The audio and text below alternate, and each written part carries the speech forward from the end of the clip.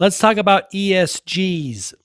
If you are confused as to why a global corporation or an American corporation would do something so nonsensical as to cater to what, 1 to 3%, maybe less of the population and alienate the other well you're not going they're not going to alienate all of the other 99 or 97%, but they're alienating, they stand the risk of alienating a large percentage of them. Bud Light's an example.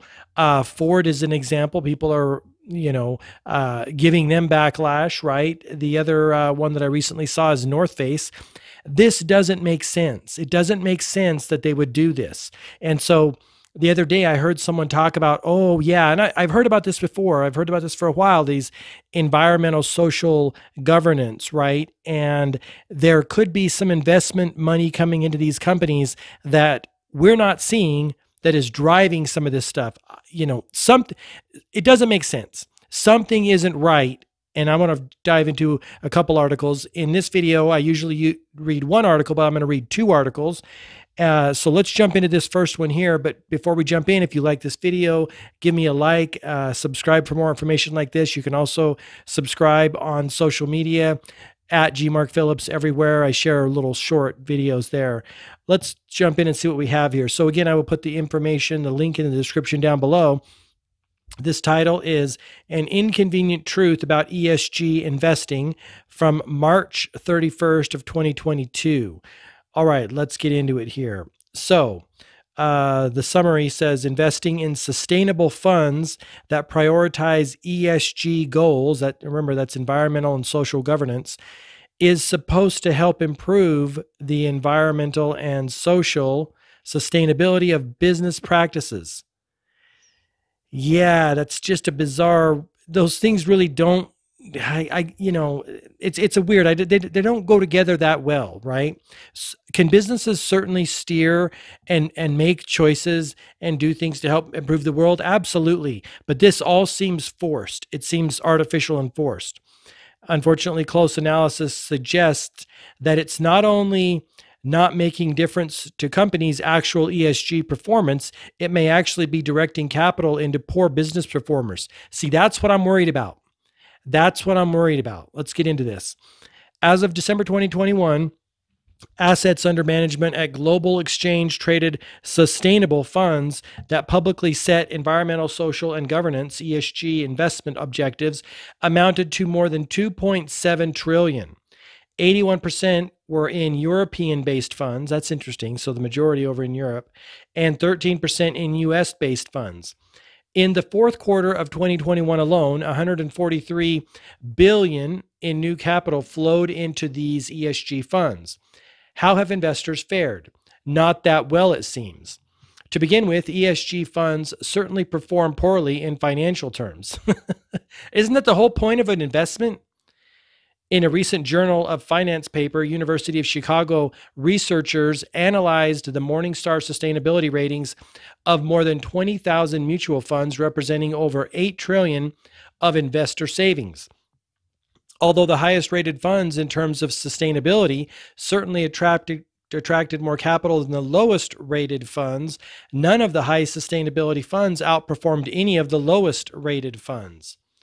That result might be expected as it is possible that investors would be happy to sacrifice financial returns in exchange for better ESG performance. Unfortunately, ESG funds don't seem to deliver better ESG performance either.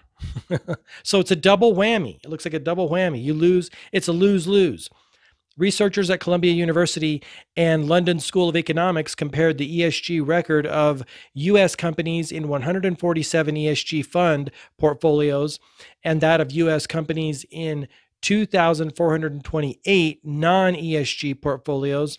They found that the companies in the ESG portfolios had worse compliance record for both labor and environmental rules. So that's weird. They also found that companies added to ESG portfolios did not subsequently improve compliance with labor or environmental regulations.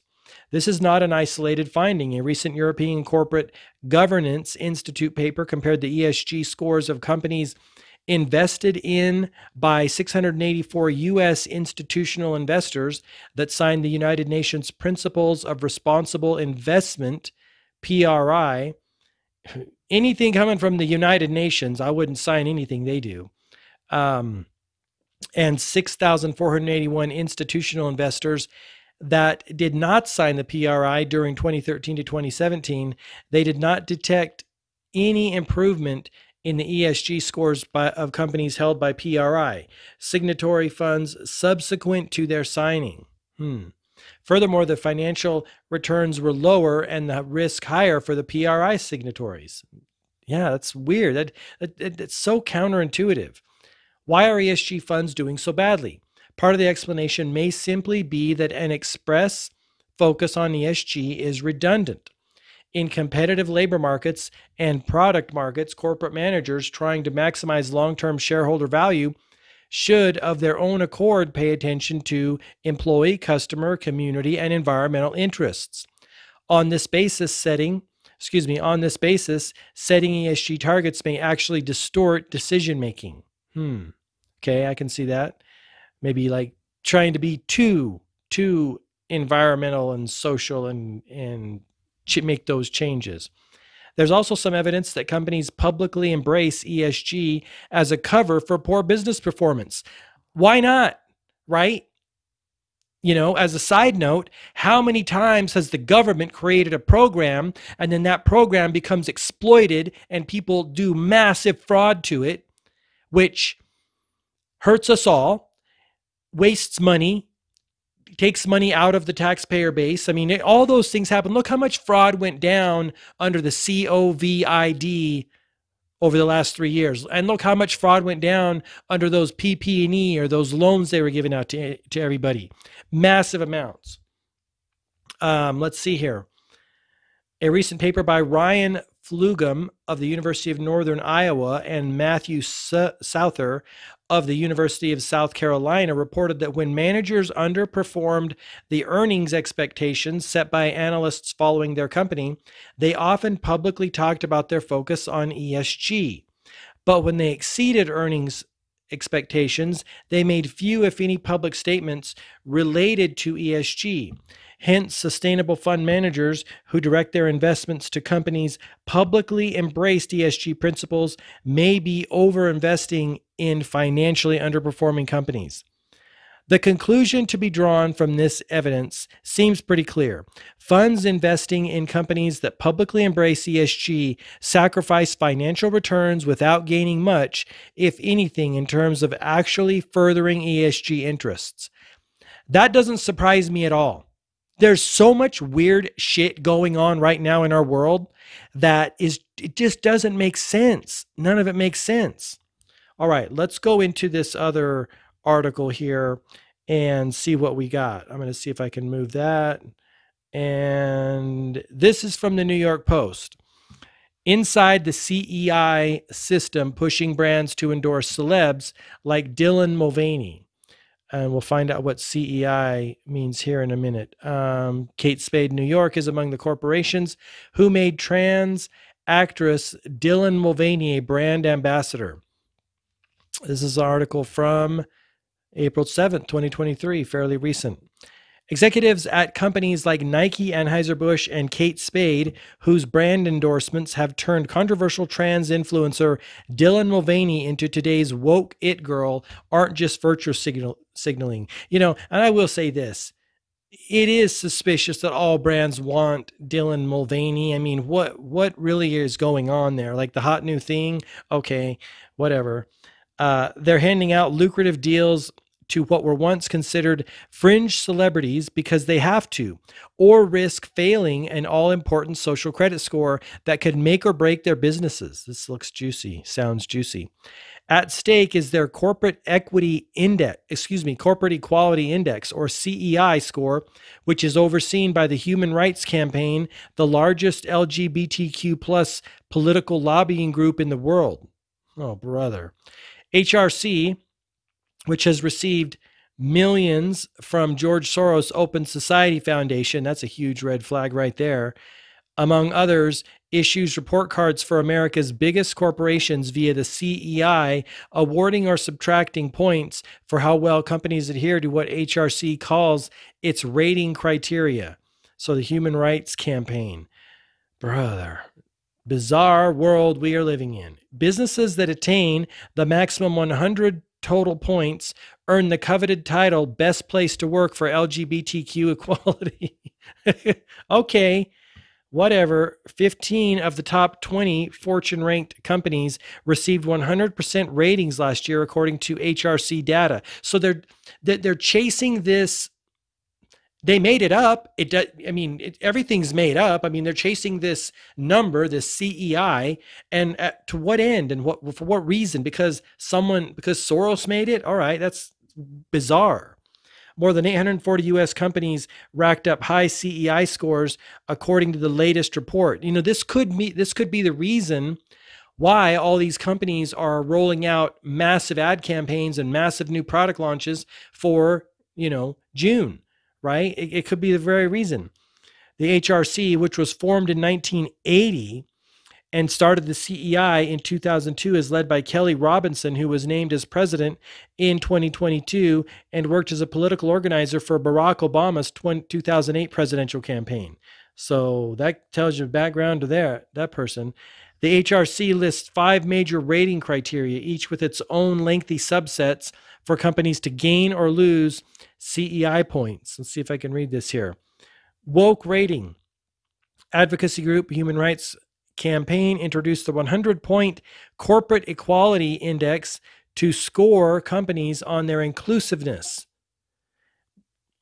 Workforce protections, five points possible. No discrimination for employment for sexual orientation or gender identity. Number two, inclusive benefits, 50 points possible. Criteria here includes providing health care for sex sex couples. Maybe that means same sex couples.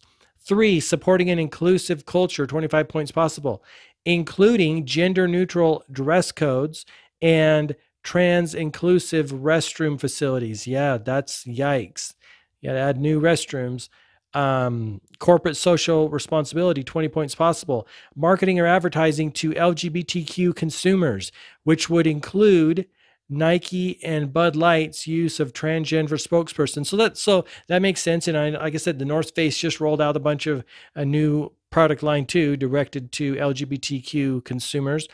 And five last but not least responsible citizenship um, not sure why it says negative 25 points deducted if a company gives money to organizations whose primary mission includes advocacy against LGBTQ equality, which is not delivered, not defined, and could include Christian groups. Holy smokes, that is scary. The CEI is made up of several main scoring components. Okay, the main categories are workforce protections, inclusive. We read those categories.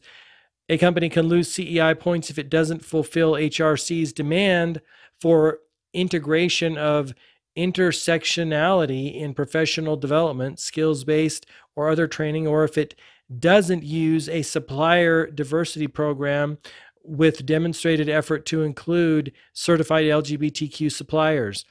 Uh, James Lindsay, a political podcaster who runs a site called New Discourses, told the Post that the Human Rights Campaign administrate administers the CEI ranking like an extortion racket, like the mafia. It does sound like that. It's like you will do these things or you won't get your cookie, right?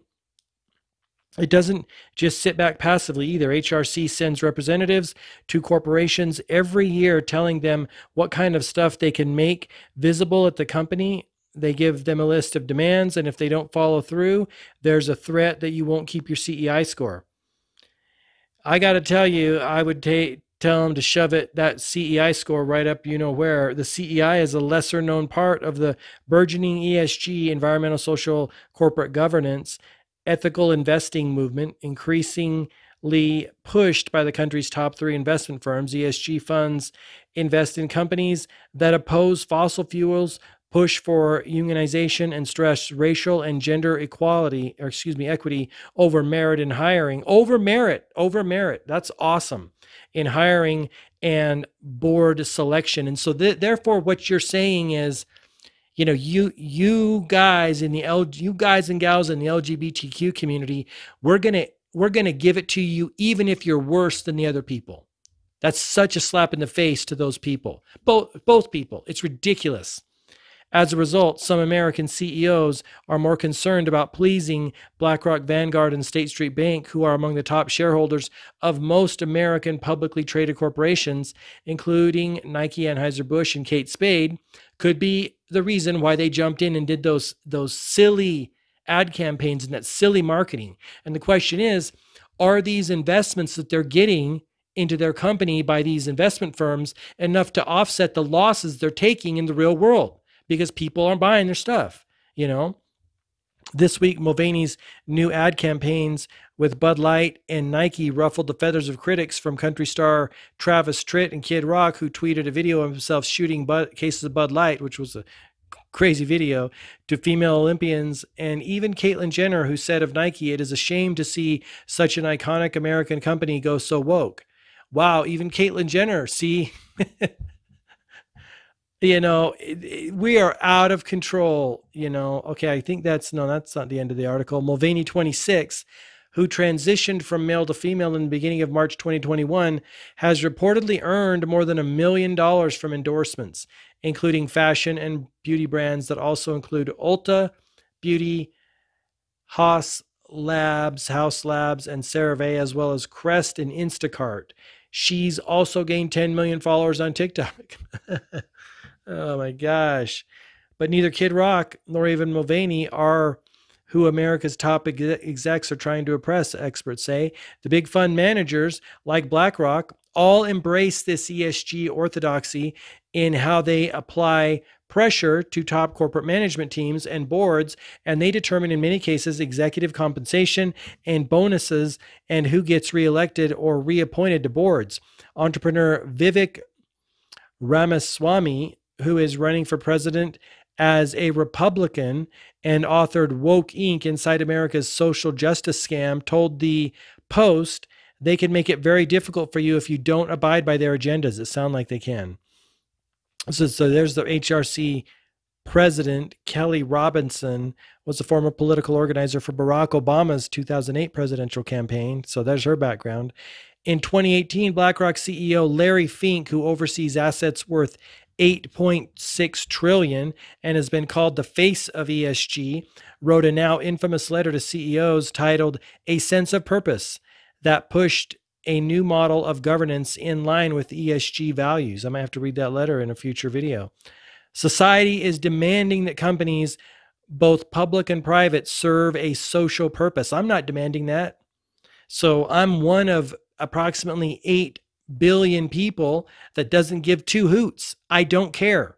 I don't need the companies that are that are I'm buying from to make social change. I'll do that myself. Like I'll be a good conscious aware person myself. I don't care what they do.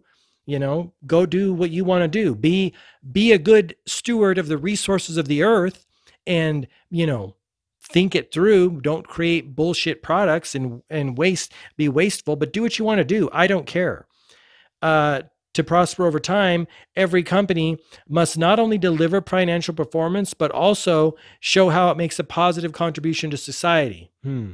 Okay, so for decades, corporations and some of the largest corporations, the global corporations like the Nestle's and, you know, all global corporations have had their hands slapped. Apple had their hands slapped for using child, excuse me, I, I think they did, and I know Nike did too. They've all had their hands slapped for using child labor, but all of a sudden, oh no, we're going to clean it up.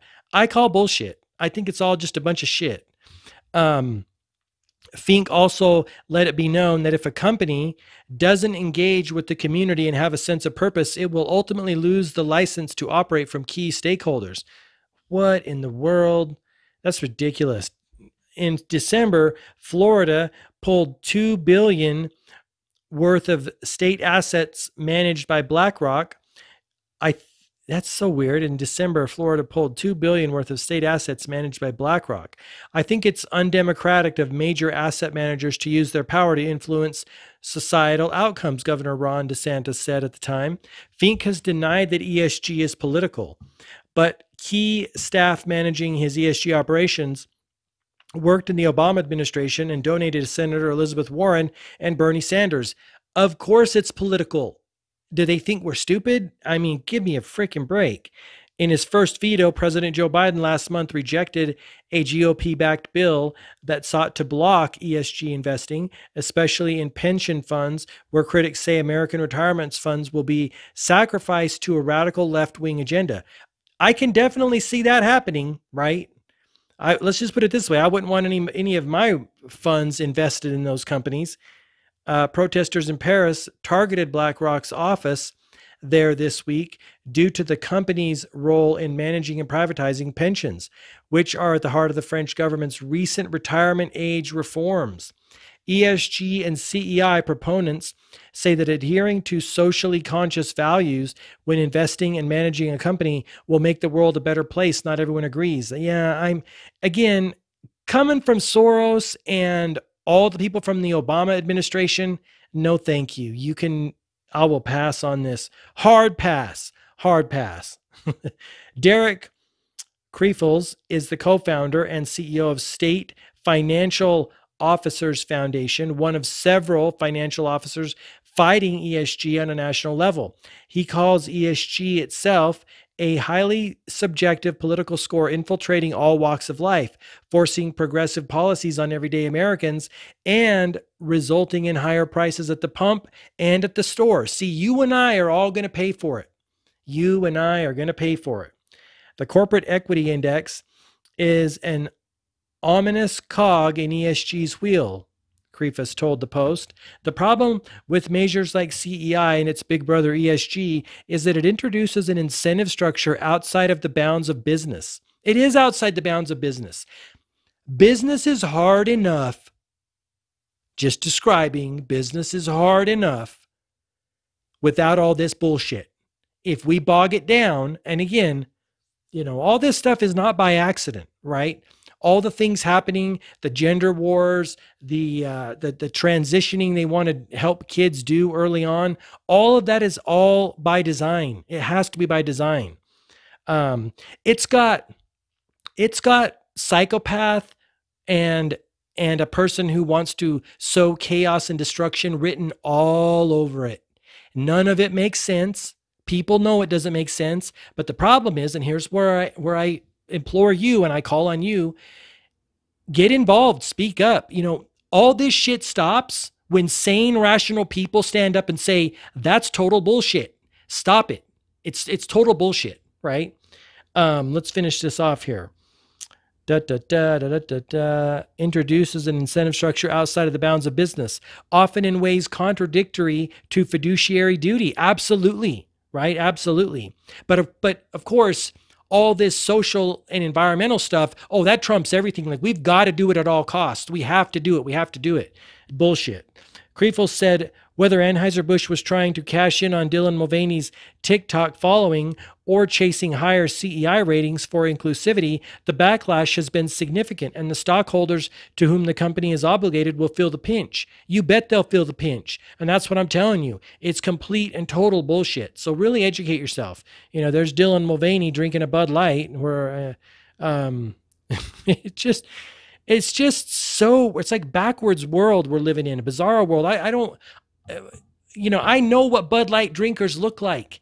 I've seen them for my whole life, and they never look like that. I've never seen a person, a small percentage, maybe single digits of people that look like that and act like that drinking a Bud Light. So there's there's no rhyme or reason that that's their target audience.